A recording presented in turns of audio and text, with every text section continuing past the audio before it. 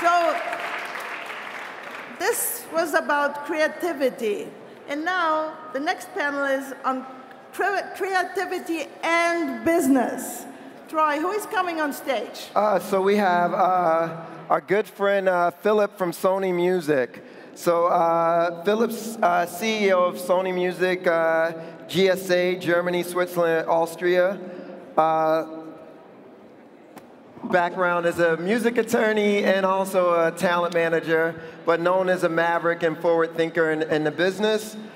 we also have the recording artist, producer, and entrepreneur Ryan Leslie, uh, Ryan's one of the smartest people I think I've come across in the business. Uh, Harvard graduate, uh, incredibly smart guy. Uh, we also have our friend Tom from Sofar Sounds. Tom's the co-founder, uh, the world's largest live music discovery community. And then we have, last but not least, our good friend Ralph Simon, who's a co-founder of Zomba, but uh, a maverick in the world of mobile and the founder of uh, Mo Mobil Mobilium uh, Advisory Group. So uh, welcome, guys. Hey, thanks.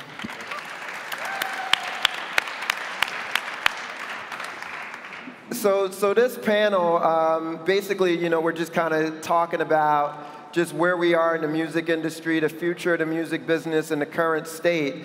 But uh, as we were preparing, you know, one of the things was that uh, that came up was that Mark Twain saying, um, "The reports on my death have been greatly exaggerated." Uh, you know, when people talk about the music industry, they kind of talk about, you know, just the death of, uh, of music, and you know, it's this negative narrative that's been uh, that's been out there. But you know, in my experience and you know, and and all throughout my conversations, this seems to be this optimistic outlook on what's happening in, in the music industry. Um, but I wanted to kick off the conversation. Um, I guess talk to you, Ryan, uh, just a bit about you know when we look at what Taylor Swift called her music from Spotify. And you know, it's this huge complaint that the streaming services aren't paying out, you know, to artists. Um, I just wish your overview from, from through the, the lens of an artist on the current state of the business. Well, I mean, my last two records actually haven't been on Spotify, uh, but after uh, taking a page out of Ed Sheeran's book, I realized that uh, really it's about discovery. And so when you don't look at it as, a, as necessarily a revenue driver, you look at it as a discovery so that people can discover your music and then actually give you revenue in other ways um, I, I, think it's I, I, think it's actually a great outlet. So my next album will be on Spotify. Interesting. And then I guess uh, you know I'll go to Tom next. So you know it's it's a lot of conversation right now just around uh, the disruption and distribution in the record business and everything else, um, but not a lot of disruption and innovation in the live music space. Um, can you tell us a bit about Sofar Sounds and, and, what you guys are doing to innovate in the, in the live music space? Um, absolutely. So I suppose you could describe So Far as the open source Live Nation. Um, what that means is we are a global curated community hosting secret, intimate concerts in people's living rooms in hundreds of cities every month all around the world. Um, and for us, in terms of disruption, it was born out of a product dissatisfaction, um, which basically means we were tired of going to crap gigs. And, uh, and what we found was that that sentiment was shared by people all over the world. Uh, and we were able to use techno technology to bring those people together in ways that they hadn't previous. So, so I, I, guess going to you, Philip, um, it's been a ton of a ton of conversation around just where the state of the major major labels. You know, um, I think major labels have gotten you know a, a, a bum rap over the years just in terms of, you know, especially now just with the lack of distribution of royalties, you know, through, through streaming, and then with the discovery of a lot of new acts, you know, and with Ryan specifically being an independent artist, is there a place for major labels in, in today's music industry? Definitely. I think um, you would be a great person to help me answering that because you are one of the most prolific and uh, most successful artist managers, and most of your clients, um, not all, but many and most of them, are with music majors. So I think that the story that the music major industry is dead is really very much 2000, and um, we have moved on. And um, I think that the majors have understood that they um, have a great place amongst all other ways of working in the music industry, which is the indies, which is D2C. So I think we all learned to find our place in a very productive coexistence. So, so as the, as the distribution systems evolve, how, how do you see the, the, the label actually provide, providing a service that an, art, that an artist would find useful?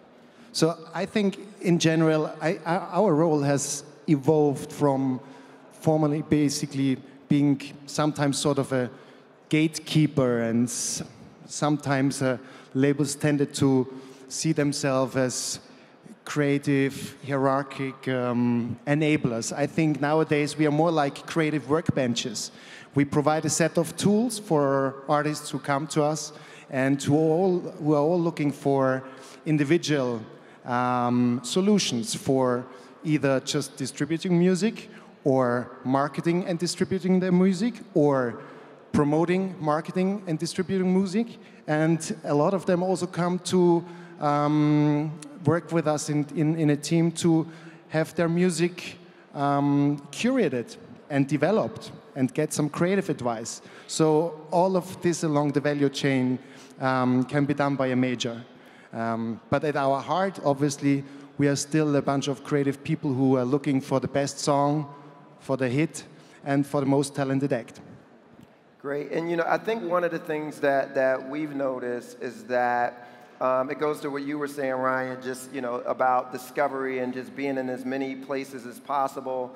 Uh, just and and right now in the world, it feels like every it, it's more consumption of music than ever. It used to be a time where discovery was kind of going to your friend's house and it was kind of looking through their albums, and um, but but now you find kids listening to you know things from back in the day to you know to music all, all throughout the world.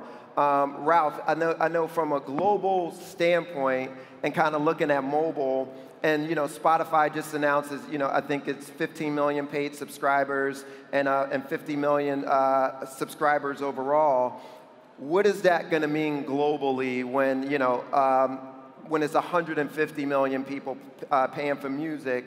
And then uh, I know you do a lot of work in the emerging markets. How does that, what's the effect of the emerging markets on the business as well? Well, I think the most uh, influential element now is the fact that we're living in the age of the screenager, not the teenager, the screenager. Why screenagers? Mobile phones, tablets, PCs, screens, screenagers. How many people here in this audience are screenagers? Everybody. So uh, you speak about Spotify. If there's 7.2 billion people with mobile phones worldwide, you're seeing the proliferation of music services around the world. There's a company in India called Hungama that are the biggest content makers of Bollywood, and they've got a whole gamification program on their Spotify. Their iTunes service, as it is, is called Artist Aloud, and they've got a self gratification button. Each time you download a track, you get a free Bollywood clip, which, of course, in India makes a big difference. So people are seeing more and more and more stuff on video. Video is really becoming the central uh, element through which people are experiencing music. YouTube, as an example, uh, millions, billions of views, like Gangnam Style, had 2.4 billion views on YouTube. So that's a new metric. But certainly, in terms of what Spotify has done, providing a whole new streaming service, that's part of this changing Catherine wheel of different musical uh, elements that will bring music to a wider audience. That's really exciting. I really just want to add that's you telling these things. I think that's really showing us what potential is still ahead of us. And I'm a generation that sort of has been just in between. And for me, there's the future is really, really bright for the music business. And I do think that the transformation from download to streaming is much, much bigger and much, much more um, of importance than the one from physical to download. I think we're just about to experience the most fascinating aspects of music, which is ubiquity, mobility, and sociability. There's nothing better to talk about than about a new song that you've heard on the radio. And I think all these factors really make music so relevant for the digital age. And that's what we love about it. And it's, um, but it's fascinating for music discovery because, like you say, a kid now has the whole 20th and 21st century of music there to discover instantly. I mean, does that impact how you think about like Sony's historic catalog of music? Because suddenly that can just be pulled out of the ether so much more simply and so much more accessibly.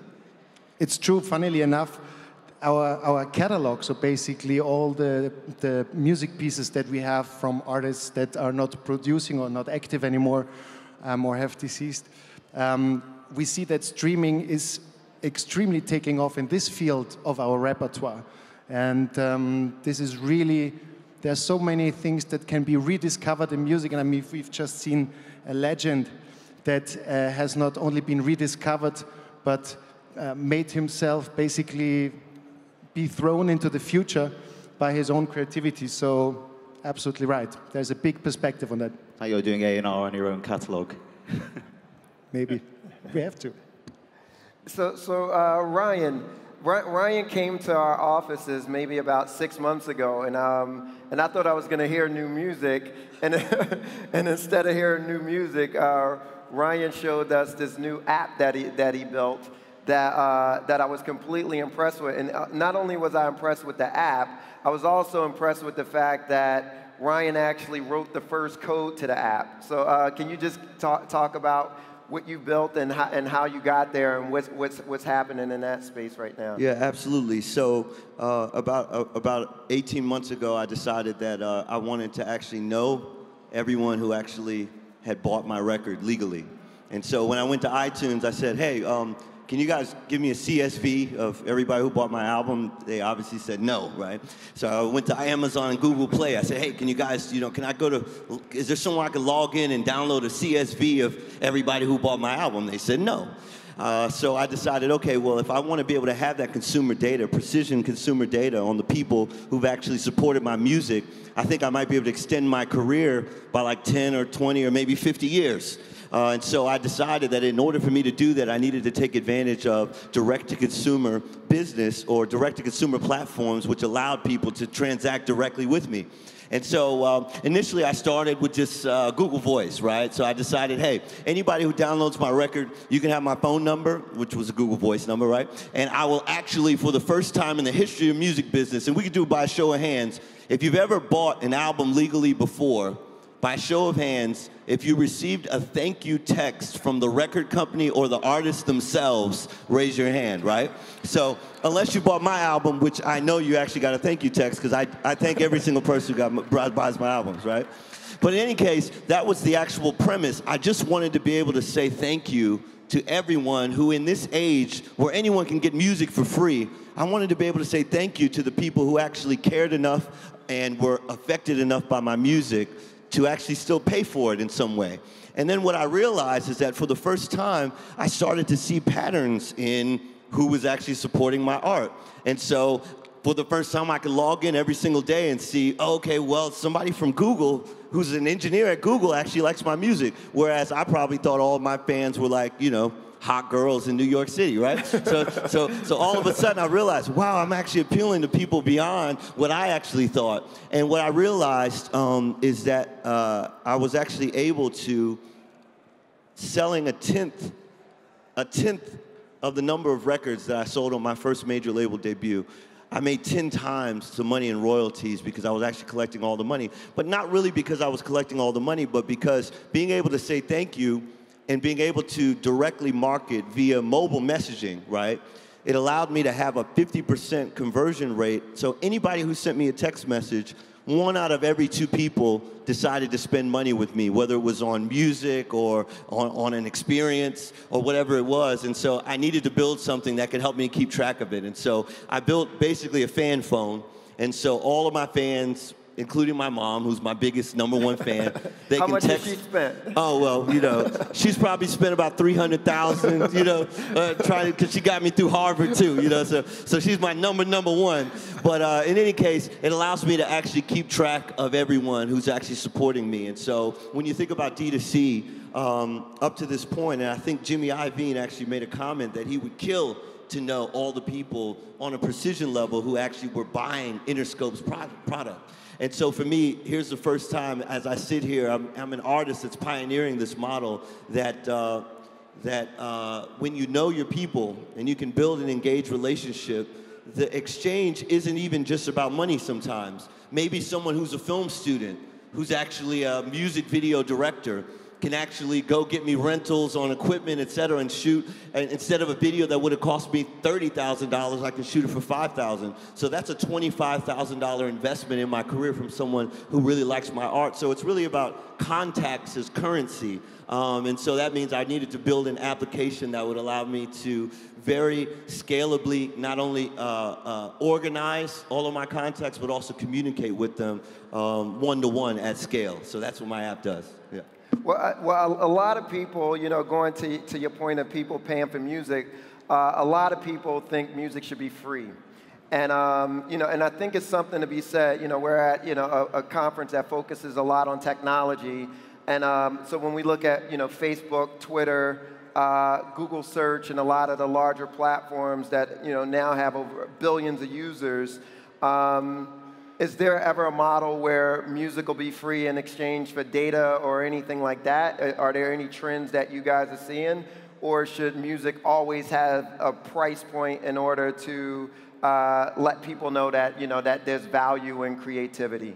I mean, I, I, I, I don't want to jump in, but This, would this was for anybody, by the Yeah, way. You're the I- I- artist. You should say something about it. Yeah, no, I think that uh, I think you should give people the option, right? So one, one of my friends is, and actually a, and a new investor in, in my startup is Benji Rogers, who founded Pledge Music.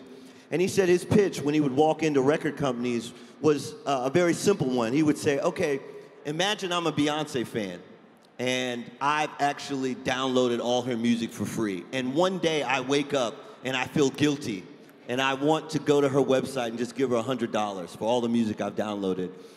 We want to, as artists, we want to be able to give people the option to actually support us in that way. And so if 10 albums of free music eventually triggers someone to say, oh, I want to see this artist in concert, or oh, I just want to go to their website and give them 100 bucks, then I think that option should always be there. And I do see that happening already.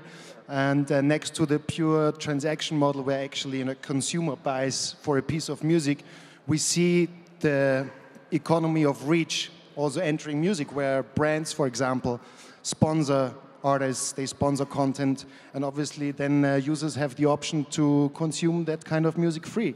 But we should be clear about one thing in the digital age, which is actually what the user wants for free is one thing, but the other question if, if the artist wants to get money or produce for free or not.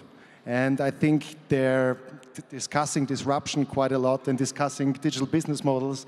I think um, uh, we should understand that writing a hit is something that is not substitutable.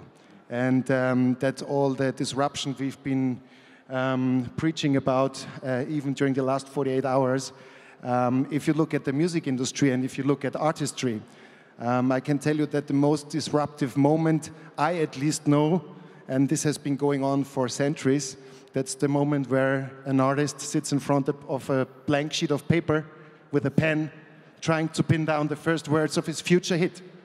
That's disruption. That's disruption in creative industry like the music industry. And this is what it will be all about.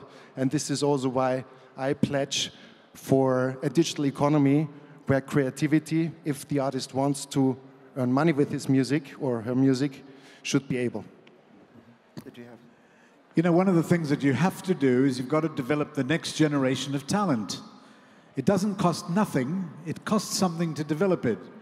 You can, of course, encourage people to get music for free that would then get them to go and see a concert.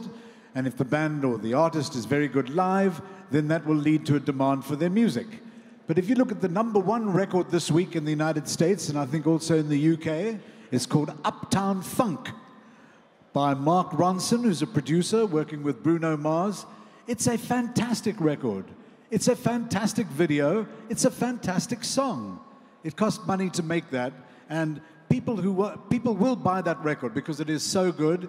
It's uh, one always has to be aware of the fact that you have to nurture new talent. How are we going to discover the next Paul McCartney, the next Jay Z, the next uh, uh, big uh, German artist? Uh, there does require a craft development from uh, the A&R people, artist and repertoire, and the I&R people, innovation and repertoire. So, so speaking of discovery, um, let's, let's go to YouTube. Um, do, do you guys view YouTube as a discovery mechanism or, uh, or, or purveyor of piracy? You know, we got these two sides of, of of the argument with, with, with YouTube.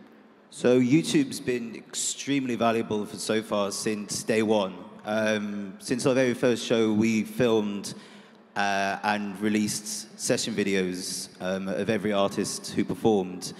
That was that was great for both those artists, some of whom either got discovered and went on to greater things off the back of it, and it was great for our growth as well, as many people discovered us and uh, and got in touch and wanted to set up shows in their own city. So as a shop front for us, it was always been invaluable. For YouTube, for me, is the reason why I even have a fan base, right? So uh, when I first started, I was making um, demos in a one-bedroom apartment in Harlem, and uh, you know, I, I was making uh, videos to promote myself, but they weren't music videos. They were just videos of me actually creating the music.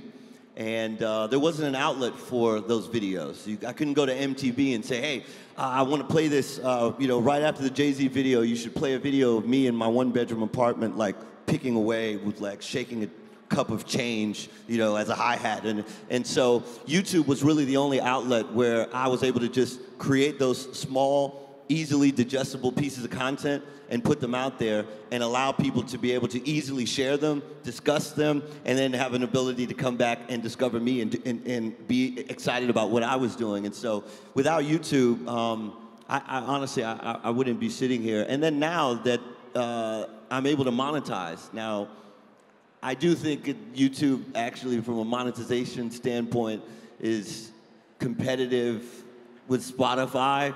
I don't know if that's good or bad, but it's competitive with Spotify. And so for premium video content, it's very awesome that I do have my niche fan base. I know the folks who want to support, and so I'm able to actually release video content to them.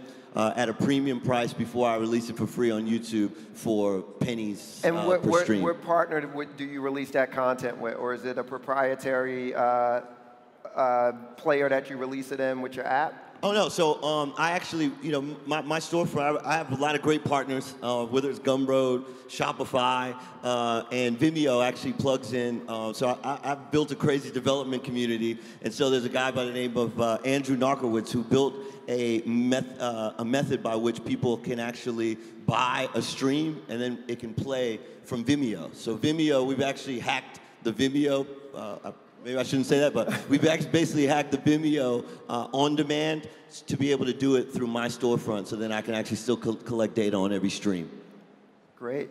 And, um, so, and from a record label standpoint, how, how are you guys looking at YouTube as a partner? I think both of both sides of your question are, are true to some extent. I mean, YouTube is the biggest and the most powerful music machine we have on the on, on the globe, um, and I think it's a, it's a very powerful tool to connect people, to surface talent, um, and on the other hand. Um, I do. I would agree with you that we would, especially with regards, for example, to the situation in Germany, uh, I would like to see a better monetization situation with YouTube because there are artists i mean it's really there should be choice you know if there are artists who say okay i want my stuff on youtube and i'm fine without earning anything that's cool with me um, on the other hand there, there are artists who, who would like to have a better monetization from youtube and who would love to have their stuff out there and they should have the chance to do so mm-hmm. so both sides of the coin coin are there and i think we need just to to work even more cooperatively and we really need to to improve the monetization situation. But in general, obviously, we, we, we love a lot of aspects in partnering with YouTube.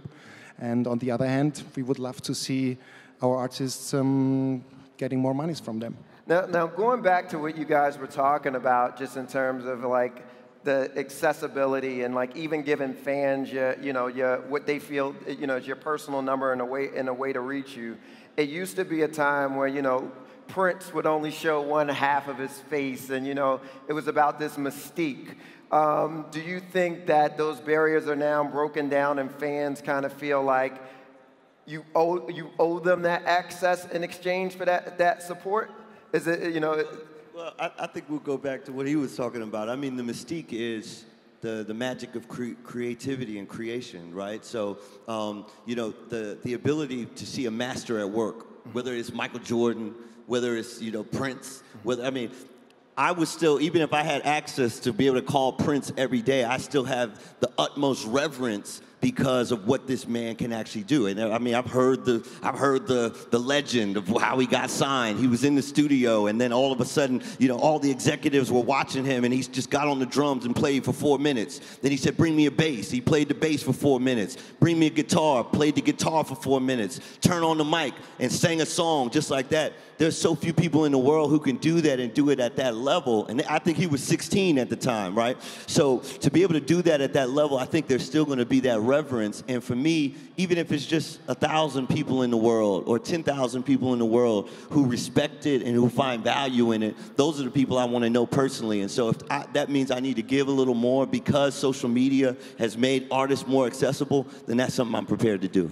Yeah, I think um, just because the artist is close to you, like virtually or in our case, physically, uh, it doesn't make mean that their mystique um, disappears at all. I remember we put on a show once with this incredible avant-garde cellist called Oliver Coates, um, and there was 50 people in the room, all crammed in on the floor watching him, uh, and he blew everybody away.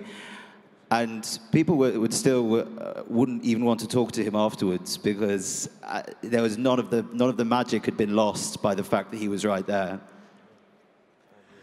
You know, Troy, a really interesting development of the YouTube era is that it's producing a whole new generation of really huge global YouTube stars.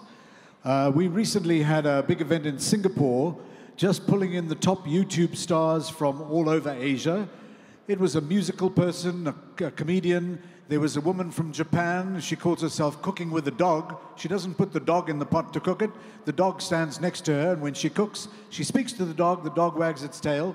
But I'll tell you an interesting story about what happened with these YouTube stars. They now are attracting big audiences, sold out in London, sold out in Berlin, sold out in Mumbai, sold out in Singapore. And there's a very interesting story of a young British guy. He's 19 years old. His name is Jacob Collier. He sings everything, he plays everything. Quincy Jones saw one of his clips on YouTube and has flown him to Los Angeles, going to be managing him. Now, Quincy Jones is one of the greatest producers of all time. But the point is that out of YouTube, you're getting in the 14 to 18 year old demographic a whole new fan base of YouTube stars. An incredible momentum that you get from those stars. It's amazing, amazing. Well, I know we only have a few minutes left, but I wanted you guys to be able to um, answer some questions from, from the audience. Um, can, you, can we, we have a question over here if there's a microphone? Okay.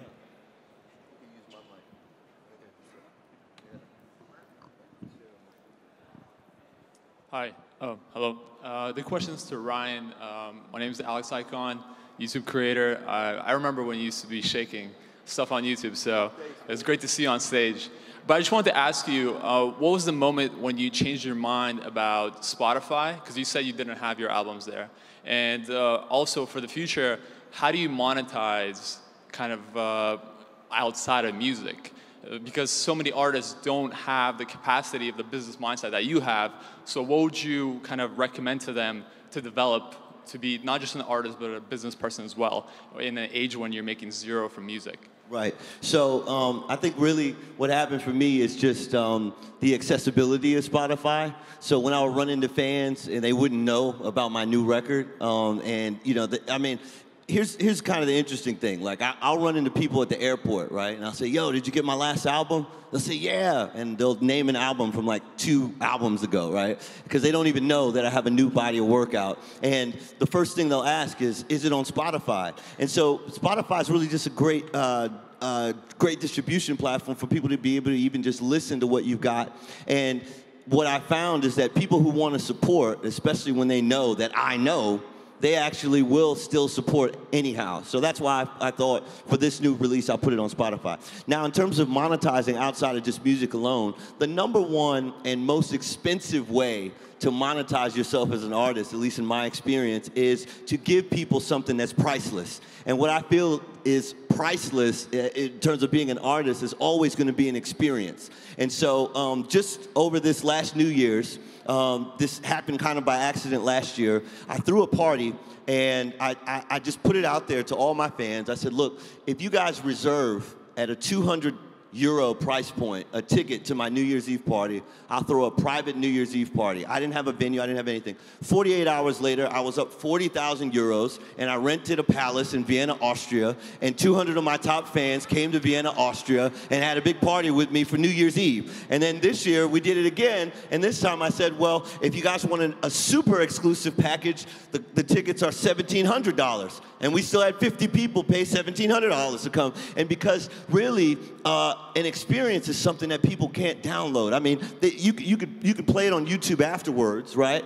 But that intimate experience, that access uh, for people who, you know, may never get to run into me at the airport, take a picture with me, whatever it is. It's something they're willing to, to, to, to, to invest in because it's not really about the money, it's, it's really about a priceless moment. And so I would worry about trying to figure out ways that you can give interactions, whether they're virtual or whether they're in person, because those are the, those are the moments uh, that I think people are going to value the most. And that, that's what I value most about being here is the ability to interact directly with folks.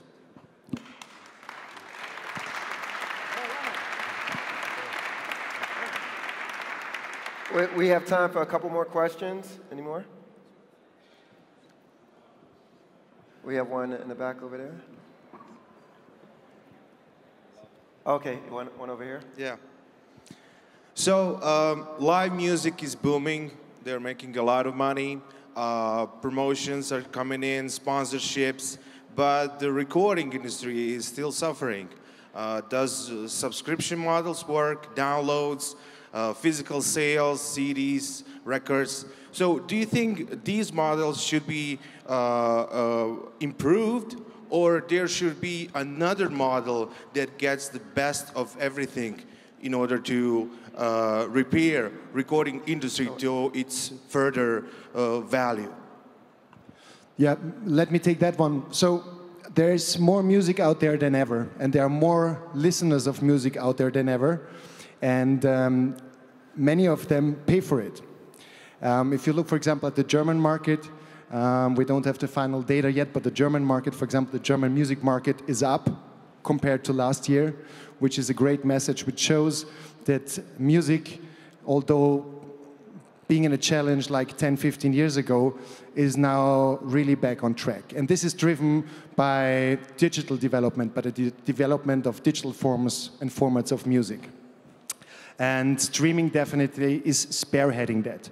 Now, if you ask me which of these formats, might it be the CD, might it be vinyl, might it be the stream, uh, should actually be the winner of that race, I can only say none of them. For us, the best thing is um, if the music lover can buy and get the music in whatever format he loves. And if you look at, uh, for example, the vinyl market, vinyl is a format that is just skyrocketing at the moment in a very small scale, but it is. So I think we should have as many formats of distributing and offering music out there as possible. And as I just said, especially in Germany, where we still have half of our music sales being physical and the rest being digital in different formats, we see this is a very, that makes a strong and healthy music market for the artists, but also for the record industry. And I think we're going to take one more question over here. Yeah, hi, my name's hi, hi my name's Felix. Uh, just got a quick quick question to the fan and all of you. Pick your fan brain. Who's your artist to watch for 215 and, and why? Thank you. I think you already said Jacob Collier, right? Well, I like Jacob Let's go to YouTube. So what's happening on YouTube? Uh, for me, someone to watch because of her sheer artistry is Taylor Swift. She's 24. She makes incredible music. She has a global following. I know to some in the audience here, she might be over commercial, but in terms of someone with an inherent talent that's really hitting the world all over the world, she's, she's somebody that I think you, is going to become a, a great uh, artist for all of, of the future, if she already is.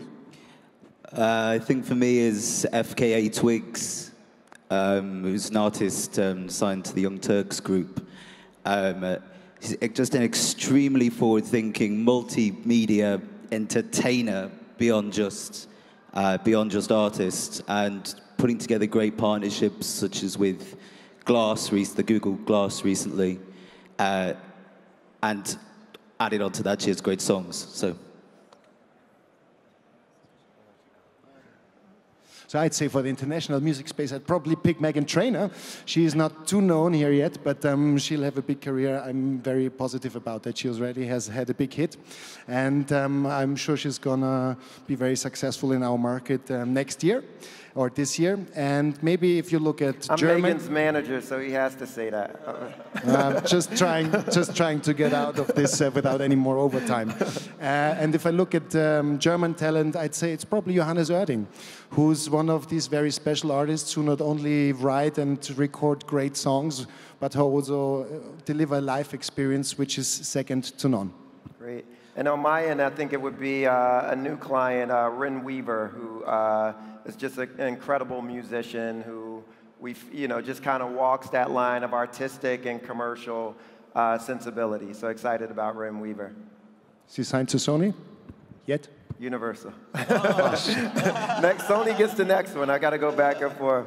So if I had to name one, I would say, you know, one of my friends and um, favorite people to collaborate with. Um, I'm always excited about what he does anytime he drops anything. Uh, and if the collaboration with Paul McCartney is any indication of uh, how people are going to respond to his body of work, which I've had the pleasure of hearing already. Actually, at Ben Horowitz's house, he played his album. It'd be Kanye West in 2015. It's going to be it's going to be a great year for him. So that's my homie.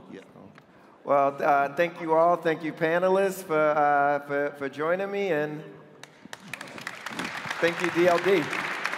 Yeah.